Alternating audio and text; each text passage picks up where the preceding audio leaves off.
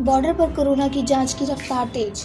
आपको बताते चलें, देश में शुरू हुई कोरोना संक्रमण की दूसरी लहर के चलते लागू हुए नियमों के अनुपालन में उत्तराखंड यूपी के बॉर्डर पर थाना कुंडा सूर्या पुलिस चौकी पर पुलिस व स्वास्थ्य विभाग की टीम ने कोविड 19 की जाँच तेज कर दी है।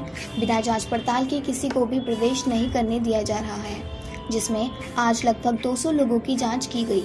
रैपिड टेस्ट में सभी लोग निगेटिव पाए गए हैं। स्वास्थ्य कर्मियों ने बताया कि राज्य सरकार की गाइडलाइन के अनुसार 12 राज्यों से आने वाले लोगों का नियमित रैपिड टेस्ट किया जा रहा है, तथा किसी के भी संभावित कोरोना पॉजिटिव पाए जाने पर उसका स्वास्थ्य केंद्र में पुनः आरटीपीआर टेस्ट कर सैंपल जाँच को भेजने के साथ ही संबंधित व्यक्ति को आइसोलेट किया जा रहा है। देखिए, बाकी क्षेत्रों की तरह हमारे काशीपुर क्षेत्र में भी कोरोना के केसेस बढ़ रहे हैं और हमारे शहर में पड़ोसी स्टेट से काफ़ी ज़्यादा मूवमेंट होता है, आना और जाना दोनों ही। तो ऐसे मामले में और ज़्यादा संक्रमण बढ़ने की संभावना से भी इनकार नहीं किया जा सकता।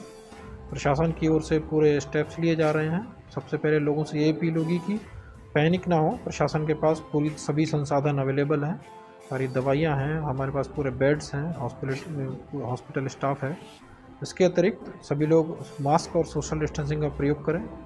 बॉर्डर से आने जाने वाले लोग अपने पासेस वगैरह या फिर फैक्ट्री वर्कर हैं, अपने साथ अपने आईडी कार्ड ज़रूर रखें, क्योंकि बॉर्डर पर आज से एंटीजन टेस्टिंग और R T P C R testing शुरू हो चुकी है। बिना टेस्टिंग के किसी को नहीं आने दिया जाएगा अभी।